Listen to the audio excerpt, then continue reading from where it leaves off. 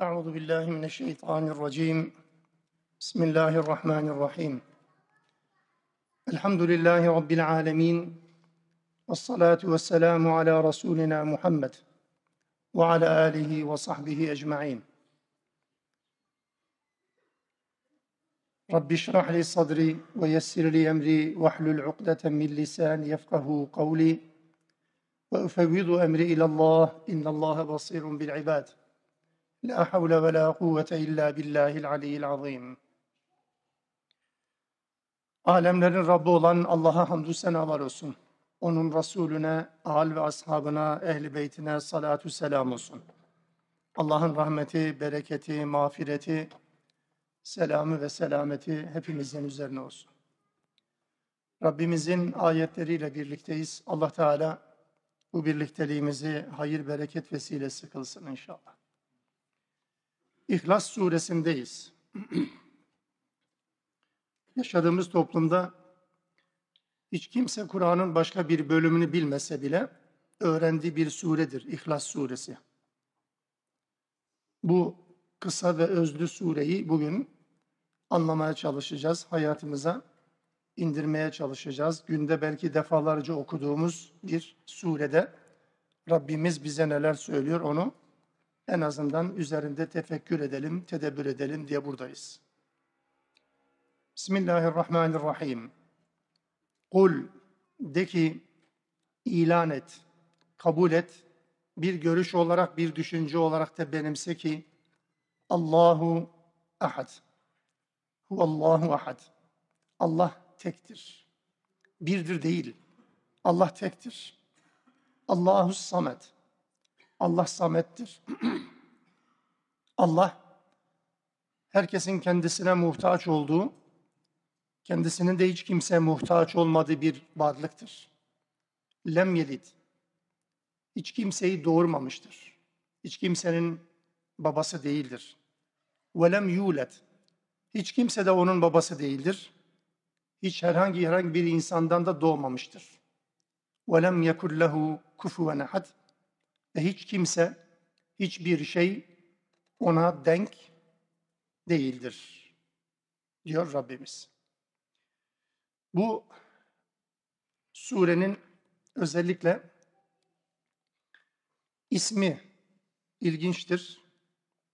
Kur'an-ı Kerim'de genelde surelerin isimleri mutlaka surenin içerisinde bulunan bir kelimeden ve bir olaydan hareketle belirlenir. Öteden beri Asr-ı saadette de durum böyledir. Ama İhlas suresi öyle değil. İhlas kelimesi surede geçmez. Ama surenin ismi İhlas'tır. Aynen Fatiha suresi gibi. Fatiha suresinde de Fatiha ismi surede geçmez. Ama surenin adı Fatiha diye bilinir. Tabii farklı isimler de var elbette. En fazla ön plana çıkan isim olması hasebiyle bunu söylüyorum. Neden? Çünkü bu sure gerçekten ihlası yani samimi bir inancın nasıl olması gerektiğini anlatan çok kısa bir sure. Evet, inanç nasıl olmalı? Bir insanın Allah'a imanı nasıl olmalı? Bunun öz olarak ortaya konduğu, samimi bir Müslümanın özelliklerinin nasıl olması gerektiğini anlatan bir suredir. Kısacası bunu ifade etmiş olalım. Bu yönüyle mesela Kafirun suresiyle birlikte İhlas suresi mukaşkışeteyn diye ifade edilir. Yani şirkten ve nifaktan insanları uzaklaştıran iki suredir. Şirkten ve münafıklıktan insanları uzaklaştıran iki surenin adı olarak mukaşkışeteyn bu kelime uzaklaştırma anlamına geliyor. Mukaşkış. Kafirun ve İhlas surelerinin ikisinin birden ismini böyle öteden beri kaynaklarımız öyle ifade ediyor. Bunun anlamı şu aslında. Bu iki surenin muhtevası içerisinde Müslümanlara yüklediği sorumluluk, inanç ve akide ilkeleri kişiyi şirkten kurtarır. Münafıklıktan kurtarır bu ikisinden kurtulduğu zaman da samimi, muhlis, halis, muhlis bir mümin olur demektir elbette. Bu surenin Mekke'de indiğini öncelikle belirtelim. Elbette Kur'an-ı Kerim'i anlama konusunda şöyle bir yöntemi de bu ders vesilesiyle bir iki cümleyle kısaca ifade edeyim. Kur'an-ı Kerim'de kimi sureler, kimi ayetler Mekke'de indikten sonra Medine'de bir vesileyle sahabeden bir kısmı ya da bazen müşriklerden veya bazen Yahudilerden özellikle Yahudilerden bir kısmının bir sorusu üzerine tekrar gündeme gelir. Yani sure daha önce inmiştir. O konuyla alakalı, o surenin içeriğiyle alakalı bir soru sorulur. Allah Resulü Aleyhisselatü Vesselam da sorulan soruya Mekke'de inen o sureyle cevap verir ama cevap verdiği zaman zemin Medine'dir. Bu sure genelde bazı kaynaklarda Medine'de inmiştir gibi zannedilir. Öyle bazen de kayıtlar düşülür. Bu yanıltıcı olmasın diye söylüyorum. Bu özellikle usul konusunda dikkat edilmesi gereken bir konudur. Bu anlattığım sürecin aynısını İhlas suresi üzerinden ifade etmeye çalışayım. Bu sure Mekke'de nazil oldu. Mekke'de müşriklerin Allah'la ilgili özellikle nitelemeleriyle ilgili bir soru. Çünkü onlar tapındıkları ilahları somut. Taştan, tunçtan vesaire bir takım cisimlerden. Onlar da Allah Resulü'nün davet ettiği tek ilah konusunda da benzer sorular yönelttiler. Senin bizi çağırdığın ilah ne? Hele bize nitele. Bunun özelliği neler? Nasıldır bu? Nasıl bir ilah? İşte bunun üzerine İhlas suresiyle Allah Resulü'nün cevap vermesini Rabbimiz emretti ve onları okudu. Zaman içerisinde Allah Resulü Medine hicret etti. Medine'ye hicret ettiği zaman da Hristiyanların bir teslis inancı var. İsa Allah'ın oğlu, Mesih Allah'ın oğlu düşüncesi var. Üçlü ilah sistemi var. Yahudiler Üzeyr Allah'ın oğlu düşüncesi var.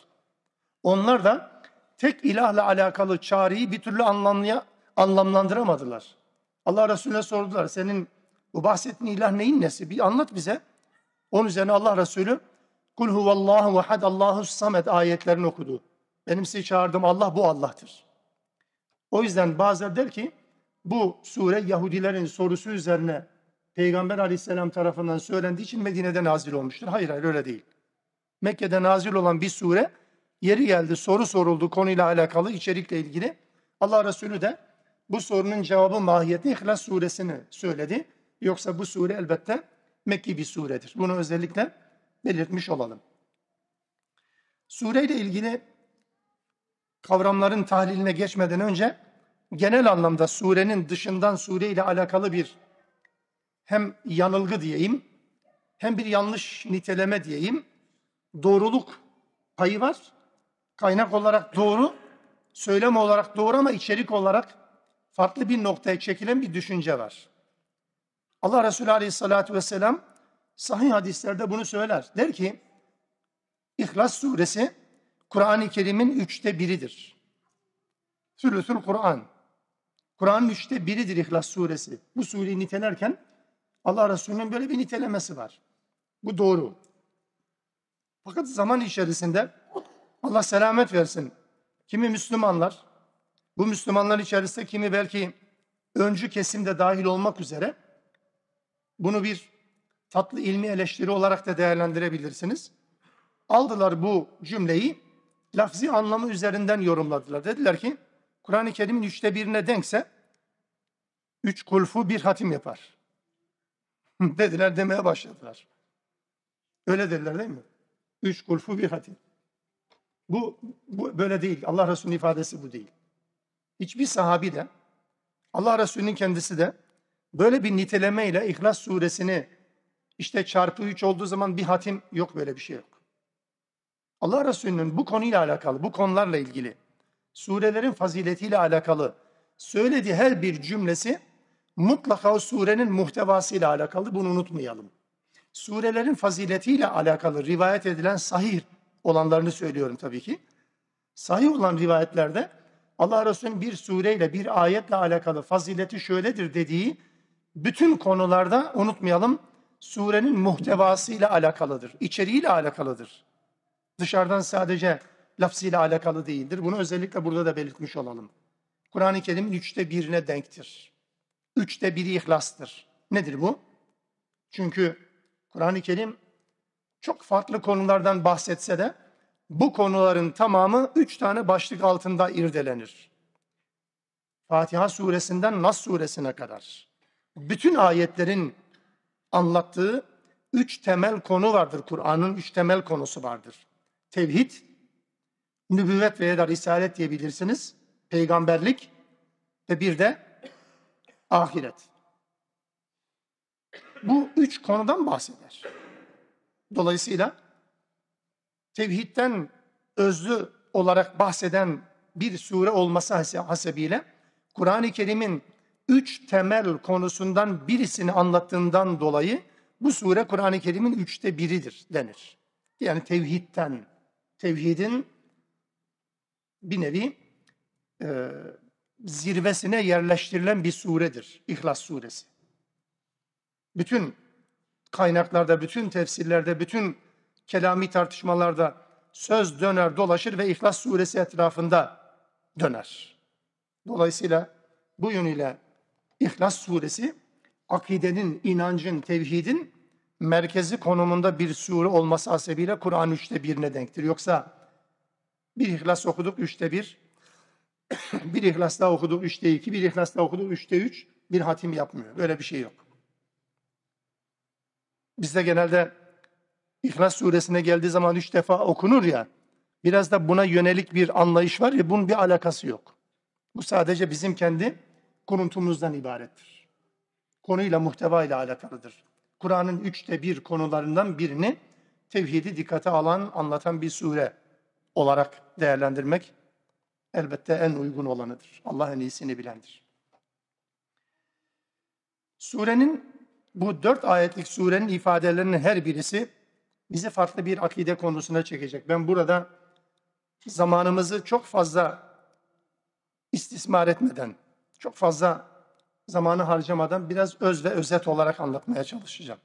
Kelami tartışmalara girmeye gerek yok herhalde. Bu da öteden beri bu derslerimizin özelliğidir.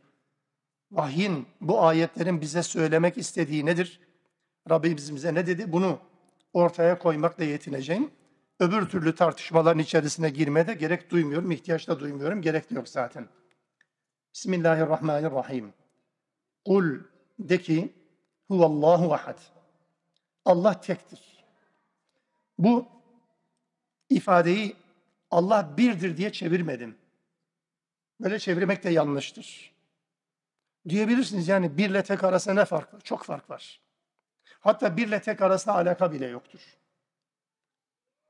Eğer Türkçe biliyorsak, Türkçe ifadeyle de böyledir. Arapçada zaten böyle de, Türkçeleştirirken de böyledir. Bir, genelde arkası gelen iki üçün başlangıcıdır. Sayıdır yani. Ama tek, teklik sayı değildir. Teklik nedir? Eşsizliktir. Burada vurgulanan Allah'ın sayısal anlamda birliği değil. Allah'ın uluhiyet konusunda eşsizliğini anlatır. O yüzden ahad ifadesini kullanır Rabbimiz. Kul huvallahu vahidun değil. Bu kelime Kur'an'da da kullanır farklı bağlamlarda. Ama Allah ile alakalı olarak ahad kelimesi kullanılır. Allah tektir. Mesela Allah'tan başka hiçbir şey içine ahad denmez. Bunun altını çizerek söylüyorum. Ahad kelimesi Allah'ın dışında bir varlık için kullanılmaz. Birdir kullanılır ama tektir kullanılmaz. Çünkü Allah'ın dışında tek olan hiçbir şey yok. Bu, bu anlamda önemlidir. Mesela vahid değil de ahad kelimesi Müslümanların şiarıdır.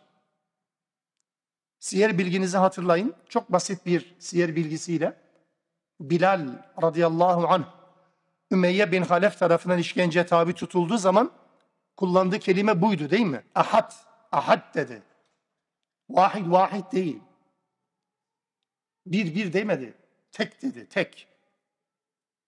Biz tercüme ederken Allah birdir, öyle değil. Cümle o değil yani. Allah birdir değil bakın, Allah tektir. Bu anlamda Allah Teala ahattır, tektir. Tek bu anlamda eyvallah. Allah razı olsun. Aynı türden birçok varlığın biri olarak kullanılır vahid kelimesi. Aynı türden birçok varlığın biri. İnsanlardan biri vahid. Kitaplardan biri vahid. Hayvanlardan biri vahid. Buna evet yani her cinsin bir tekine vahid denir. Ama ahad türdeşi olmayan, eşi benzeri olmayan tek varlık demektir. Bu kadar farkı var. İşte Allah bu anlamda tektir. Bu anlamda tektir. Bu ifade Allah'a ortak koşanların üçlü bir Allah sistemine iman edenlerin bu inançlarının tamamını rafa kaldırıyor. Allah'a ortak koşanlar ifadesini kullanırken de izah etme ihtiyacını hissediyorum. Puta tapmaktan bahsetmiyorum sadece. Allah'a ait özellikleri Allah'ın dışında bir varlığa isterseniz bu varlık Muhammed Aleyhisselam olsun. Allah'a ait olması gereken bir özelliği herhangi bir varlığı Allah'ın dışında herhangi bir varlığa vermenin adı şirktir. Bunun Türkçe karşılığı ortak koşmaktır. Niyet ne olursa olsun. Niyet çok iyi niyet olabilir. Bu yönüyle bu anlamdaki bütün ortak koşmaları bir varlığı Allah gibi görme anlayışlarının tamamını sıfırlayan bir ifadedir. Bir varlığı Allah gibi görmenin, bunun elbette çok detayları olabilir. Bu yönüyle Allah sadece ismiyle değil bakınız, sıfatlarıyla, nitelemeleriyle bilinir Allah Teala. Tıpkı ne gibi? Teşbihte hata olmasın. Mesela biz bir insan deriz ama bir insanı nitelerken ne deriz? Öğretmen deriz, marangoz deriz, doktor deriz, mühendis deriz, inşaatçı deriz, şu deriz, bu deriz yani. Niteleriz, onunla tanırız. Bu bir vasıftır. Herkes insan olma noktası eşit. Herkesin ismi ayrı. Ama o isimden ziyade özellikleri orada toplumda ön plana çıkar. Ne iş yaptığıyla insan bilinir.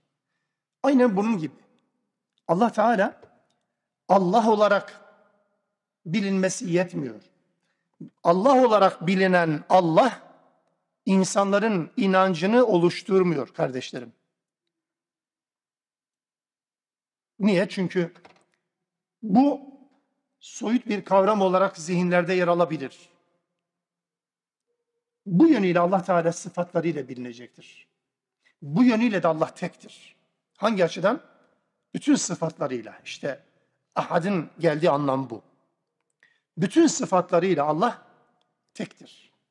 Aklınıza ne gelirse, Allah'ın ben yaparım dediği, Allah'ın ben ederim dediği, Allah'ın bana aittir dediği bütün konularda Allah tektir.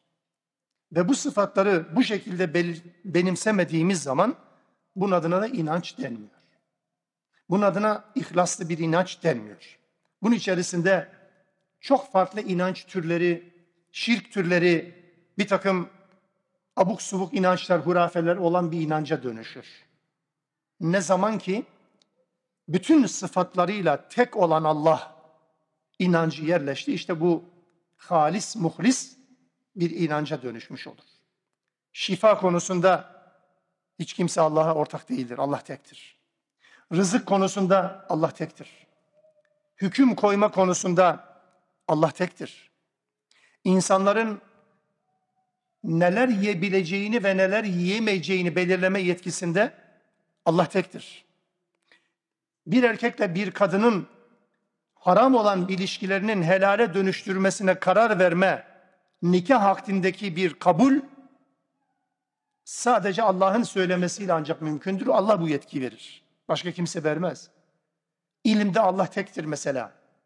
Gaybı sadece o bilir, başka bilen yoktur. Gaybı sadece Allah bilir, Başkalarına Allah Teala gaybi bildirdiği oranda onlar haber verir sadece. Gaybi kimsenin bilme ihtimali imkanı yoktur. Hiçbir nebi, hiçbir resul gaybi biliyor düşüncesiyle nitelenemez. Ancak Allah Teala onlara bildirdiğini o bildirir o kadar. Peygamberler böyle, diğerleri zaten böyledir. Tevbe konusunda, bağışlama konusunda Allah tektir, benzersizdir. Kimse buna eş olmaz. Arzu ve isteklerde, korku ve endişelerde, rahat ve sıkıntıda, bolluk ve darlıkta sadece ve sadece tek Allah'a yönelilir, başkasına değil. Bütün zaman, bütün ortamlar için, bütün şartlar için yönelilecek olan tek Allah'tır. Sıfatları önemlidir o yüzden diyorum. Niçin bunu söyledim? Bunu şunun için söyledim. Müşriklerin kabul ettiği bir Allah inancı var. Bunu Kur'an-ı Kerim birçok yerde anlatır. وَلَاِنْ سَأَلْتَهُمْ diye başlayan ayetler vardır. Onlara sorsan gökleri yeri kim yarattı? Rızkı kim veriyor? Sizi kim diriltti? Sizi kim öldürecek? Güneşi kim doğuruyor?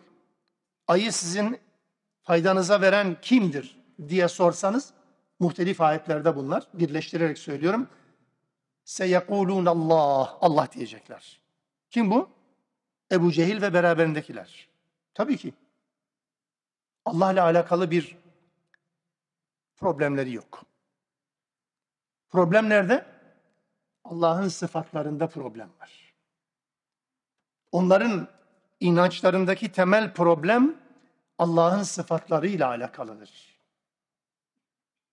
Hatta mesela Kur'an-ı Kerim onların dilinden bize aktarır inançlarını. Ma na'buduhum illa liyuqarribuna ila Allahi zulfa. Biz putlara niye tapıyoruz biliyor musunuz? diyor. Bizi Allah'a yaklaştırsınlar diye. Putlara tapmanın gerekçesi bile bakın putlara tapmanın gerekçesi bile Allah'a yaklaştırmak. Allahsız değiller. Ama Allah hayatta fonksiyonsuz, fonksiyonsuz. Etkisiz. Sadece varlık olarak var. Aynı şekilde mesela Vallahu emarana biha diyor. Mesela bir fuhşiyet yaptıkları zaman Kabe'nin etrafını çıplak tavaf etme geleneğini din haline getirmişler. Allah Resulü niye böyle yapıyorsun dediği zaman Vallahu emarana biha. Allah bize bunu emretti diyor. Düşünebiliyor musunuz? Allah emrettiği için bunu yapıyoruz. Güya içerisinde günah işlenen elbiseyle Allah'ın muazzam beyti tavaf edilmez. Makul, kendi kendince makul. Çok masum bir güzel istek yani. Ama buraya dikkat edin. Vallahu emarana biha. Allah bize emretti. Allahsız değil. Ya da mesela putlara tapmanın gerekçesini anlatırken ne diyorlar? Ve yekulune haulâi şufa'auna indallah. Bunların hepsi ayet, Kur'an ifadeleri. Bunlar Rabbimiz katı, Allah katı. Rabbimiz demiyorlar. Onlarda Rab kabul yok. Ben dilim sürçtü. Bunlar Allah katında bizim şefaatçimiz olacak. Mantıksız diyebilirsiniz. Bir inancın mantığı sorgulanmaz ki. Adam öyle inanıyor bakınız. Putları niye tapıyor? Allah'ın yanında bizim için şefaatçi olacak. Kurtuluşumuza aracılık yapacaklar. Peki problem ne? Allah'a iman konusunda Müslümanlarla birleşiyor. Hiçbir problem yok. Allah Resulüne karşı komplo içerisindeyken, şantaj kurarken, onları işkence ederken, memleketlerden sürme çabasını ortaya korken de dayandıkları güç gene Allah. Gene Allah bakın. Niye nasıl oluyor demeyin. Allah işte. O açıdan söyledim tekrar söylüyorum. Allah'ın sıfatlarındaki tekliği vurgulamadan Allah'ın varlığına iman etmek kişiyi Müslüman yapmıyor. Kişiyi Müslüman yapan Allah'a iman etmek değildir. Bunu hayatın merkezine koyalım. Allah'a iman etmek kişiyi mümin yapmaz. Allah'ın sıfatlarına ve bu sıfatlarda tek oluşuna iman ettiğiniz zaman adınız mümin olur. Elhamdülillah. Onun dışında adı mümin olmaz ki. Buyurun. Allah Teala bunların tümünü müşrik olarak niteliyor. Hepsinde de bütün faaliyetlerinde, bütün çabalarında nihai nokta, nihai adres nedir? Allah'tır. Olsun. Bu iman sayılmıyor. Ve bakın buna şunu da ilave edeyim. Kur'an'da anlatılan hiçbir peygamber kavimlerini İslam'a davet eden Hazreti Nuh'tan itibaren Risaletin ilk örneği olması hasebiyle söylüyorum bunu. Hazreti Nuh'tan itibaren Muhammed Aleyhisselam'a kadar hiçbir peygamber kavimlerini Allah'ın varlığına inanmaya çağırmamışlardır. Bunu da kafamızın bir köşesine not edelim. Böyle bir çağrı yoktur. Bütün çağrıların merkezinde ne var? Farklı cümle kalıplarıyla geçer Kur'an'da. Allah'la birlikte başka ilaha kulluk yapmayın. Allah'ın dışında, Allah'ın berisinde başka ilaha kulluk yapmayın. Bütün konu budur. Onun için inanç ya da iman dediğimiz şey Allah'ın varlığına iman değildir. Allah'ın sıfatlarına ve bu sıfatlarındaki tekliğine, eşsizliğine, benzersizliğine iman etmektir değerli kardeşler. Yaşadığımız toplumun temel problemi de budur. Allah'a inanmayan insan göremezsiniz belki. Ateist insan çok fazla değildir. Yani son zamanlarda işte artış gösterdi falan dene olabilir. Bırakın herkes kendi kafasına göre müşrik olsun. Müslüman olduğunu söyleyenlerle ilgileniyorum ben bakın. Gelin Allah'a Allah gibi iman edin. Bu toplumun en büyük problemi budur. Ebu Cehil'in Allah'ın varlığına iman ettiği gibi iman eden Müslümana Müslüman denmez. Hayata karışmayan bir Allah, fonksiyonsuz bir Allah, işlevsiz bir Allah, etkisiz bir Allah, putperestlerin, müşriklerin inandığı bir Allah'tır. Allah Teala böyle bir imanı kabul etmiyor. O yüzden Allah'ın sıfatlarındaki tekliğe iman etmek kişiyi mümin yapar. Bakın Allah'la konuşuyorken bile iblisi Allah Teala kafirler diye ilan eder değil mi? Bu da Kur'an-ı Kerim'in açtığı başka bir penceredir. Evet evet. Allah soruyor, iblis cevap veriyor. Şimdi neyi ispat edeceksiniz? Allah'ın varlığı ispat edilmez. Allah'ın varlığı ispat edilmez. Bir insanın inkarcılığını ortadan kaldırmak için Allah'ın varlığını ispat etmek bin dereden su getiriyoruz ya onun için. Kur'an-ı Kerim bu pencereyi açıyor. Ne dersiniz? Ben size sorayım bakınız. Sözün meclisten içeriye. Allah Teala diyor ki secde et, secde etmedi. İblis, İblis'e dedi ki niye secde etmedin? Dedi ki beni ateşten yarattın, onu çamurda yarattın onun için. Konuştu, Allah cevap verdi. Devam etti. Kıyamete kadar bana süre tanı, ben insanları saptıracağım dedi. Salih kullarımı, ihlaslı kullarımı saptıramayacaksın dedi ama sana süre tanınmıştır. O da dedi ki sağlarından, sollarından, önlerine, arkalarına yaklaştıracağım. Allah Teala dedi ki sana tabi olanlar hepsini cehenneme sokacağım. Allah konuşuyor, o cevap veriyor. O konuşuyor, Allah cevap veriyor. Peki buna rağmen o kâne minel kafir. Peki şimdi şöyle bir farazi yapalım. Şeytana, iblise yani Allah'ın varlığını ispat etmeye çalışan birisi olsanız ne dersiniz? Ne diyeceksiniz? Adam demeyecek mi yavrum ben Allah'la konuşuyorum, konuşuyorum. Küfür böyle bir şey işte. Tevhid de işte bunun zıttıdır. Onun için Allah'la konuşmak bile adamı Müslüman yapmıyor.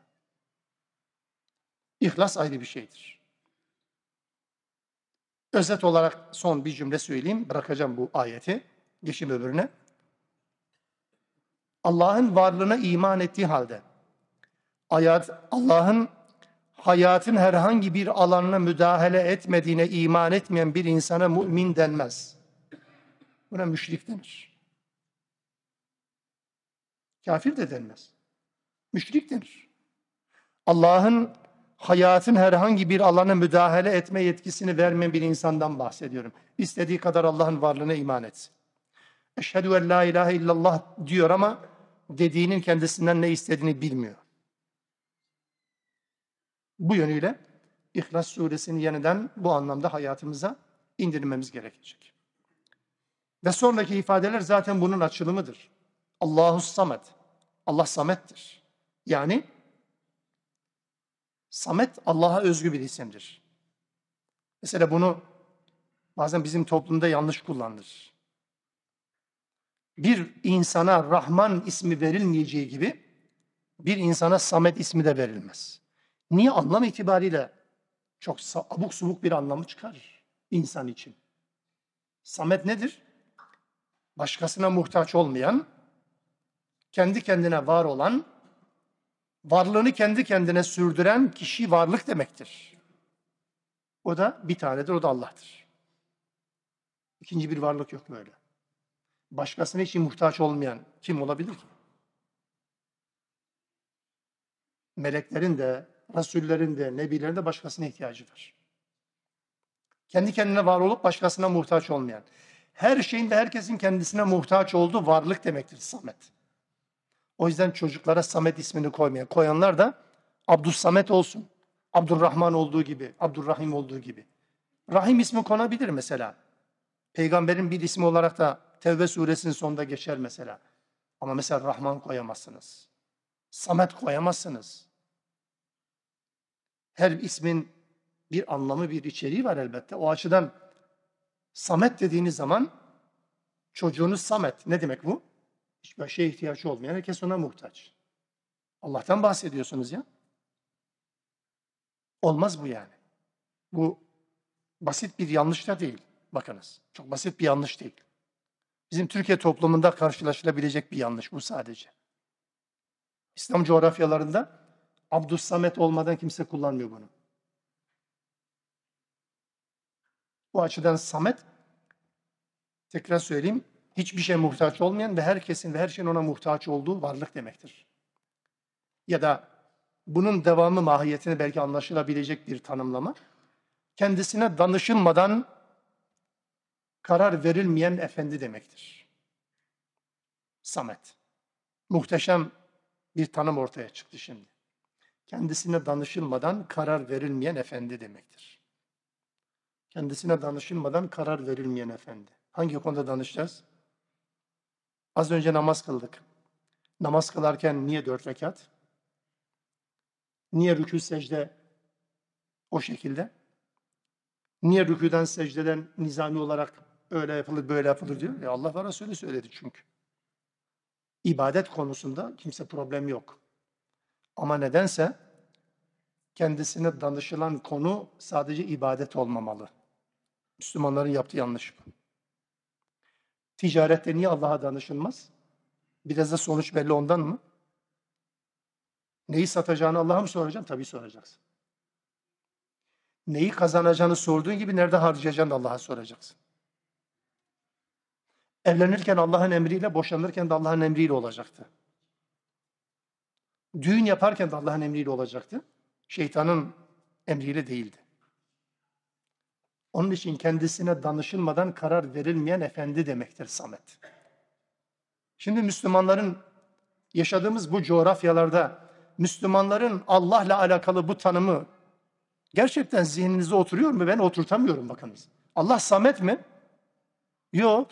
Toplumda Allah Samet değil ya. Allah'a danışılmadan insanlar iş yapıyor.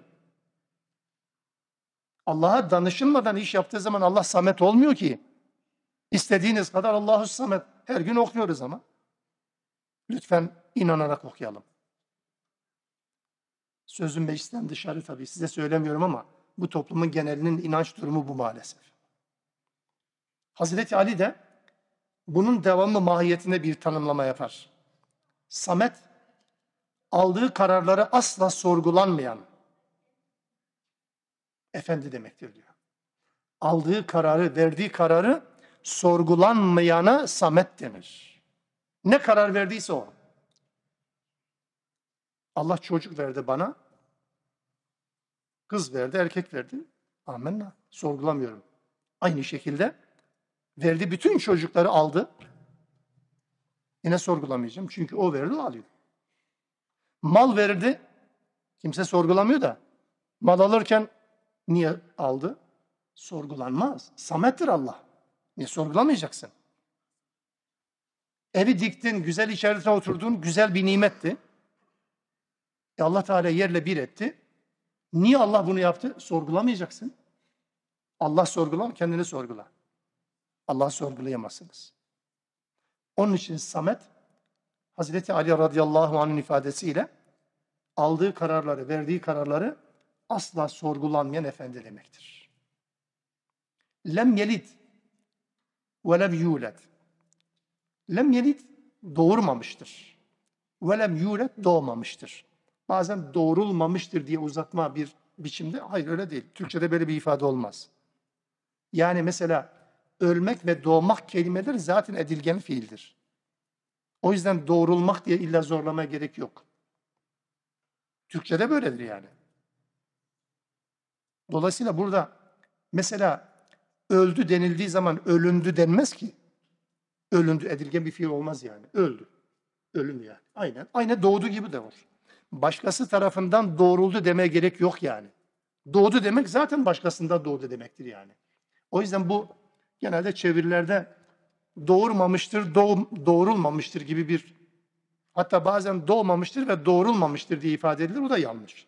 İkisi aynı kelime. Doğrulmakla doğmak aynı kelimedir. Diğer kelimenin tercümesi yapılmamış oluyor. Bu bir tercüme ile alakalı düzeltme tabii ki. Bu ne demek peki? Bu Allah ile alakalı olarak Hristiyanların ya da Yahudilerin bir tanımlama biçimi vardır. Allah üçün üçüncüsüdür. Mesih Allah'ın oğludur. Üzeyr Allah'ın oğludur. Tarihi, tarihi bilgilere baktığımız zaman aslında biyolojik anlamda Allah'ın İsa'nın babası olduğunu söylüyorlar mı? Buna bir soru işareti koyalım. Öyle değil. Ama bu böyle bir sistem oluşturulmuş. Yani Allah'ın bir hanımı var. Hanımından da İsa doğdu. Öyle değil yani. Ama baba, oğul, ruhul kudüs üçlüsü var. Üzeyr Allah'ın oğludur dedikleri zaman yani Allah'ın haşa bir karısı var ondan da Üzeyr doğdu anlamına değil. Ama Üzeyr Allah'ın oğludur. Buradan hareketle ben şu sonuca vardım. Bütün bu ayetle alakalı Kur'an-ı Kerim'de birçok örneği var çünkü.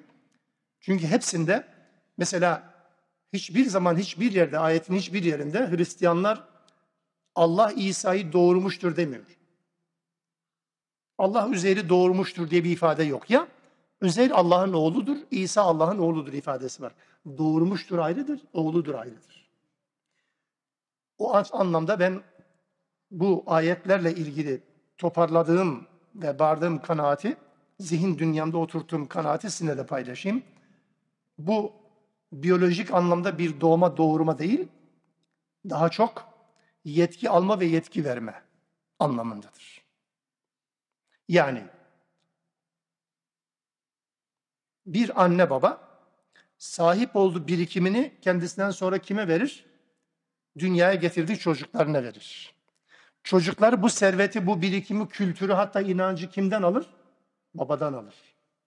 Yani verici ve alıcı anlamında. Anne baba ve çocuklar. Verici ve alıcı anlamında. Neyi veriyor, neyi alıyor? İşte bu anlamda Allah Teala'nın doğmaması ve doğurmaması, birinin Allah'ın oğlu olmaması, Allah'ın da birinin babası olmamasının esprisi budur. Allah yeryüzünde kendisinin hükümranlığıyla alakalı olarak kimseye bu anlamda yetki vermemiştir. Rasullerini göndermiştir kendisi adına konuş diye. Evet, Rasuller de, Nebiler de Allah kendilerine verdiği yetki kadar konuşur ve hükümlerini ortaya koyar. Kendi kafalarından değil. Kimseden de bu anlamda yetki almamıştır. Doğmamıştır, doğurmamıştırın zihin dünyamda oluşturduğu anlam budur. Allah ne kimseden yetki almıştır, yani ne kimseden doğmuştur, ne kimseye yetki vermiştir, yine ne kimsenin babası olmuştur. İşin özü özeti olarak bunu ifade edeyim. Dolayısıyla Allah bu yönüyle de tektir. Kimseyle bu anlamda yetkisini paylaşmaz. Resulleri ve nebileri de kendisi seçer. Bu noktada onlara der ki benim mesajlarımı insanlara iletin, şöyle şöyle iletin der. O kadar. Bu yönüyle de mesela yeryüzünde kimse Allah adına kimseyi bağışlayamaz. Bu Hristiyanlık adına da bazen de din adına, İslam adına da olabilir bu tip törenler. Hayır. Kimse Allah adına kimseyi bağışlayamaz. Bağışlayıcı olan Allah'tır. Kimse bu anlamda yetki verilmemiştir. Peygambere bile verilmiyor ki. Sen onlar için 70 kez istiğfar etsen, bağışlanma dilesen Allah kabul etmedikten sonra olmaz. Olmaz yani. Dolayısıyla bu yönüyle Allah ne kimseden yetki almıştır ne de kimseye yetki vermiştir. Lem yelid ve lem yulet. Anlamı bu. Ve lem yekun lehu kufuven ahad. Ve Allah hiç kimseye ya da hiç kimse ona denk değildir. Hiç kimse ona denk değildir. Ya da hiçbir şey ona denk değildir. Hangi konuda? Aklınıza hangi alanla alakalı gelirse gelsin. Allah'ın dengini bulamazsınız. Aklınıza ne geldiyse Allah o değildir. Bu konuyla alakalı dört tane ayet ifadesini söyleyeceğim. Bu dört ayet Allah ile ilgili olarak konuşurken doğru konuşmamızın ölçüleridir. Bu dört ayetten birini dikkate almayınca Allah ile alakalı kuracağınız bütün cümleler yanlış olur. Bu dört ayetten herhangi birisini dikkate almadığınız zaman Allah ile alakalı kuracağınız bütün cümleler yanlış olur. Evet. Bir, Leyse kemitlihi şeyun. Şura suresinin 11. ayetinde. Hiçbir şey onun benzeri değildir. Hiçbir şey onun benzeri değildir. O zaman Allah ile alakalı aklınıza ne geldiyse o değil. O dediğiniz şey neyse o değil. E o değilse o değilse boşuna uğraşmayın. Allah'ın benzerini bulamazsınız. Allah Teala kendisini bize Kur'an'da tanıtırken bizim kullandığımız terminolojiyi kullanır. Niye? Çünkü Allah kendisine bizi tanıtıyor. Ama Allah o değil. Allah Teala geliyor. Allah Teala işitiyor. Allah Teala görüyor. Allah Teala konuşuyor. Allah Teala'nın eli, Allah Teala'nın iki eli. Kur'an'da bir ifadeler hepsi geçiyor. Niye söylüyor bunu bana? Bunların tamamını ben anladım. Ama ben Allah için bir göz, Allah için bir kulak, Allah için bir ayak, Allah için kas damardan oluşan bir el öyle değil. Çünkü leyse kemitli şeyin Allah hiçbir şeye benzemez. Hiçbir şey Allah'a benzemez. O zaman Allah ile benzeştireceğimiz hiçbir şey geçerli değildir. O yüzden Allah'ın zatıyla alakalı tefekkür edilmez. Allah'ın kudreti olarak ortaya koyduğu ayetlerle ilgili tefekkür edilir. Ama Allah'ın zatıyla alakalı tefekkür edilmez. Neyi tefekkür edeceksin? Tefekkür etmen için zihin dünyada bir karşılığı olacak, bir imaj olacak. Yok. Leyse kemitlihi şeyun. Hiçbir şey onun benzeri değildir. Bu bir. İkincisi, la yus'elu amma yef'al devamında ve hum yus'elun. Yaptığı şeylerden dolayı asla sorulamaz ve sorgulanamaz. Yaptığı şeylerden dolayı sorgulanamaz, başkaları sorulabilir. Ama Allah yaptığı şeylerden dolayı sorgulanamaz.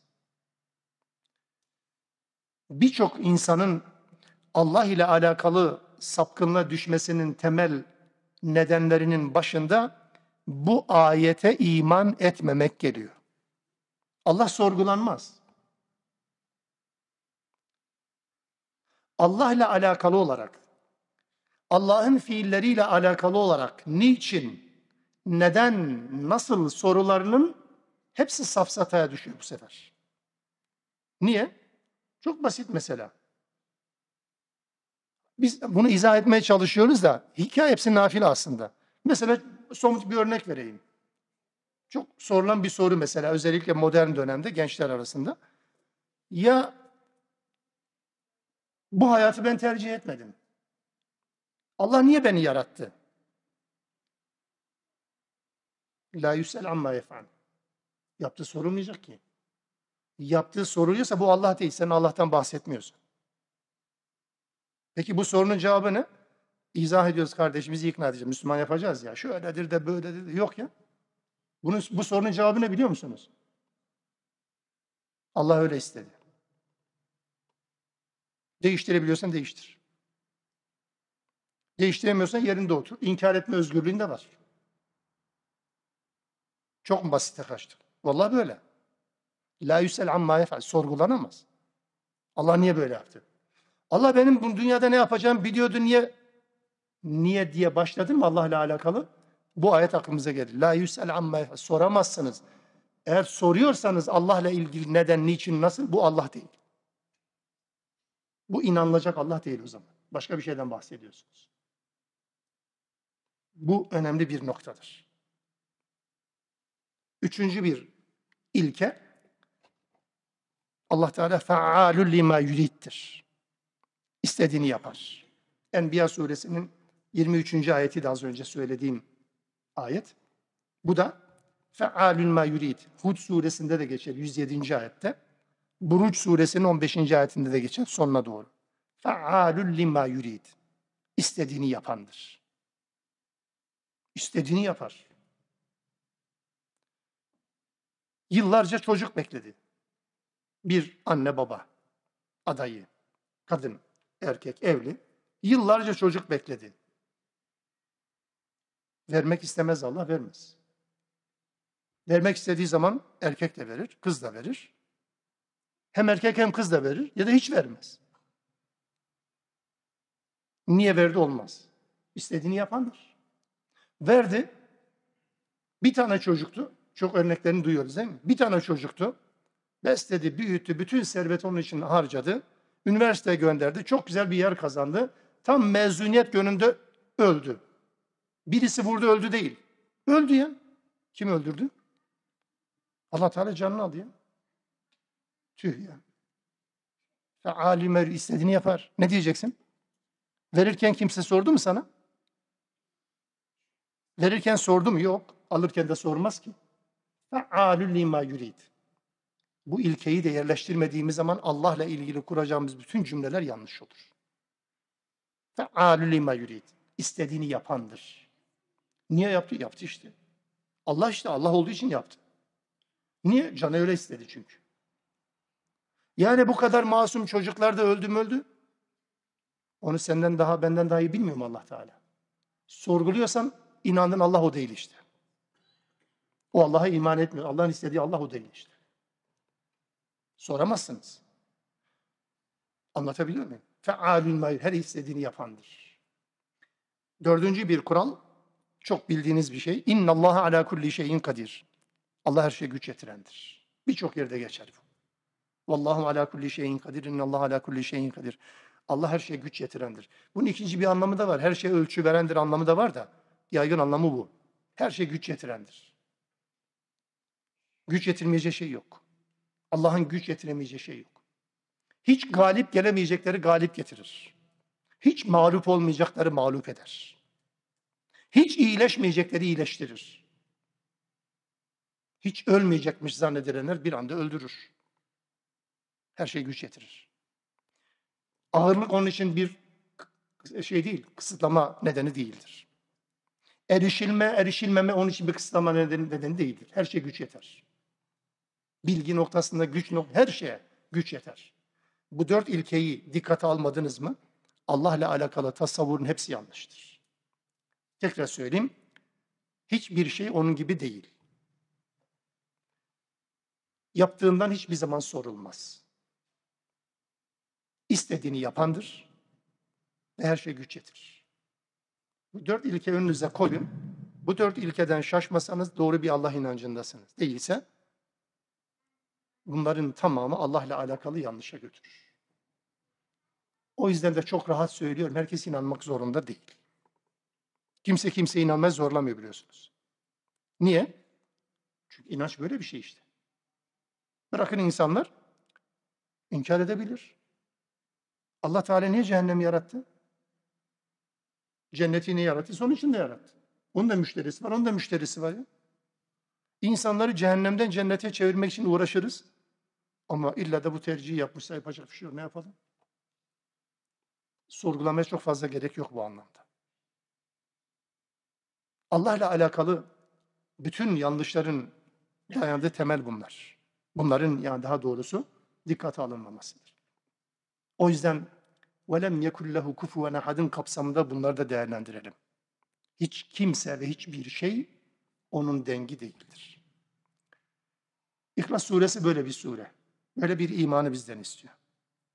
Allah Resulü aleyhissalatü vesselam bu imanın ilanı anlamında, bu imanın dışa vurumu anlamında Kafirun suresini söylerken de söylemiştim. Sabah namazlarının sünnetlerinde Kafirun suresiyle İhlas suresini okurdu. Yani bu ne demektir? Günü bu iki sureyle açıyor. Kafirun suresi la ilahe, İhlas suresi illallah'ın mukabilidir. Bir, an, bir anlamda yani. Kafirune la ilahe diyor Müslüman. İhlas ile illallah koyuyor yanına. Güne böyle başlıyor. Akşamın sünnetinde de Allah Resulü bunu yapıyor. Günü bitirince, akşama başlayınca, geceye başlayınca yani zamanın ikinci faslı ya da birinci faslı diyelim. O fasla başlayınca yeniden. Akşamın sünnetinde de kafirun ve İhlas suresi okuyordu. Kolay sünnetlerdendir. Bunu yapalım ama beraberinde içeriğini de hayatımıza indirmeye çalışalım. Rabbim amel edenlerden eylesin. Allah Teala Kur'ansız, kitapsız, ihlassız bırakmasın bizleri. Rabbim yolumuzu cennette buluştursun. Allah Teala kardeşlerimize de zaferini, nusretini görünmez ordularla desteğini lütfetsin de bize de onda bir pay yazsın. Bizi de onda memur kılsın. Subhanakallahumma bihamdik. Eşhedü en la ilahe illa ente estağfiruke ve etubu ileyk.